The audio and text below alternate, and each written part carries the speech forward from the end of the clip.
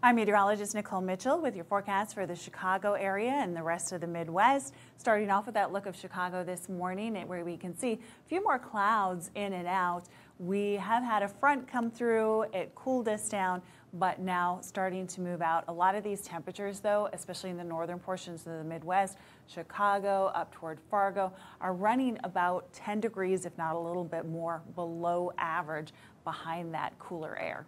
Now, as we get westward, still pretty mild. Rapid City, North Platte, both in the 60s.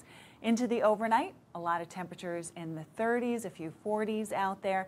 And then for Thursday, we start to moderate more of those 40s I was talking about.